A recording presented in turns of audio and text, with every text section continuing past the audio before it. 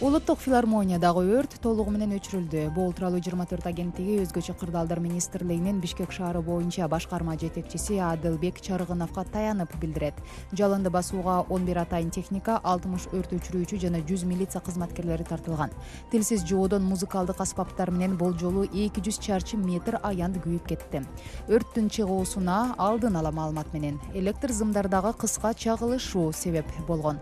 Жеринде тергөөчүлөр иштеп жатат. Улуттук филармониянын жогорку кабатында жалын бүгүн түштө чыккан. Чүй облусунун токмок шаарында бир кишинин бычакталганы боюнча шектүү катары изделип жаткан жаран кармала элек учурда издөө иштери уланууда. Эске салсак жыйырма алтынчы август күнү токмок шаарынын мал базарынан жаран бычакталып ооруканага түшкөн. Бул факт боюнча кылмыш жаза кодексинин адам өмүрүнө кол салуу беренеси менен кылмыш иши козголгон. Буга чейин жергиликтүү маалымат каражаттары кылмышка шектүү токмок шаардык кеңешинин депутаты экенин жазып чыгышкан. Эл аралык манас аэропортунда тосуп алуучуларга убактылуу чектөөлөр киргизилди. Аба майдандын басма сөз кызматы билдиргендей мындай чара зыяратчылардын сауд арабиясынан кайтып жатышына үчүнчү дүйнөлүк көчмөндөр оюндарына коноктордун келип жатышына жана түрк тилдүү мамлекеттердин саммити өтөөрүнө байланыштуу. Андан улам биринчи сентябрга чейин жүргүнчүлөрдү тосуп алуучуларга аэропорттун аймагына кирүүгө чектөөлөр киргизилди.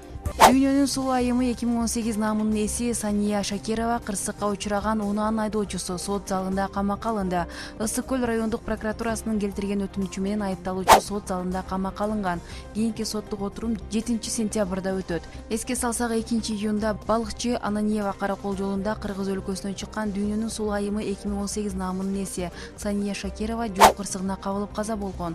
Окуя болгон жерден отуз бир жаштагы жүргүнчү жаракат алып чолпон атадагы ооруканага жеткирилген бишкек шаарынын мэри азиз суракматовдун унаасынан айнектерин күңүрттөгөн жабуу ыйрылып айдоочусу айып пул төлөөгө милдеттендирилди. Бул туурасында жол кыймылынын коопсуздугун сыздоо башка башкармалыгынын маалымат кызматынан билдиришти мэр болсо lexus lx беш жүз жетимиш автоунаасы өздүк болгонун айтып буга чейин кызматтык унаадан баш тартканын билдирди. Бирок унаанын алдыңкы айнектери күңүрт экенин байкабаганын белгиледи. Тактай кетсек кыргызстанда автомобилдин алдыңкы каптал айнектерин жабууга тыюу салынган. Буга бир гана президенттин премьер министрдин жогорку кеңешинин жана жогорку соттун төрагасынын укмкнын тогузунчу кызматынын инкассаторлук жана конвой менен алып жүрүү үчүн арналган атайын кызматтык автоунaalар кирбейт тамаша күйөрмандарын дайыма күлкү менен сугарып келген куудулдардын ар бир айдын алтысы долбоору кайрадан чыга баштайт борончу кудайбергенов менен рахмаразыков бүгүн бул долбоор менен кайра иштеп баштаганын жана биринчи концерт тогузунчу сентябрда болоорун кабарлашты албетте адаттагыдай эле концерт интермедиа миниатюралар менен коштолуп анын алкагында бир топ жаңылануулар көрсөтүлөт